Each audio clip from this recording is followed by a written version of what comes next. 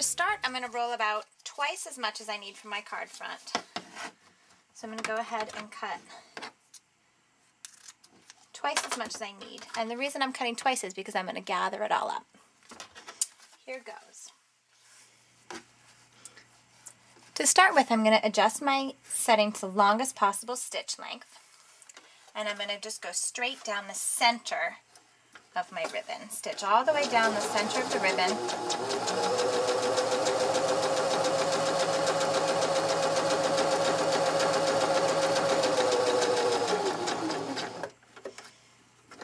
There we go. Uh, after you're done sewing, you're going to see you have two strings. And I'm just going to pull on one string and see it puckers. And then I'm going to push that down and pucker it all up. And you'll push that gathering away down the length of the ribbon. And that's going to gather up your ribbon to give it a fun puckered effect. See how it does that? And I'm going to continue to do that all the way down the length of my ribbon. So now I'm pulling in from the other end. See how it pulls it all into a little ruffled pleat.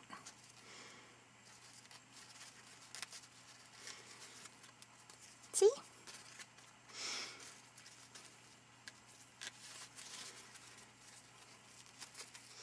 Now I've pulled it all into a tight pucker, which looks really kind of messy right now, but what I'm going to do is flatten it out onto my card front. I sped this part up so that you can see how I do it so you don't have to watch it slowly.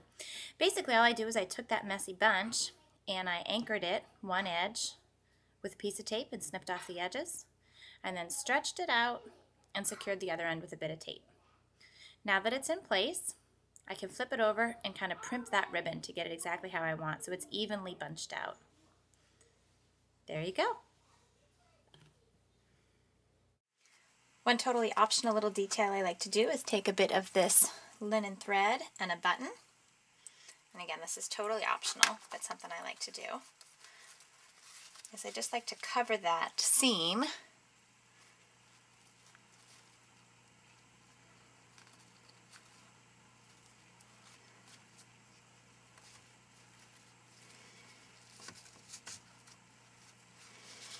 just like to cover that little seam up with a button. It's totally not a big deal, but I think it makes a nice little extra touch. Plus it makes it look like you pleated that ribbon by hand. Nobody can tell you cheated and stitched it.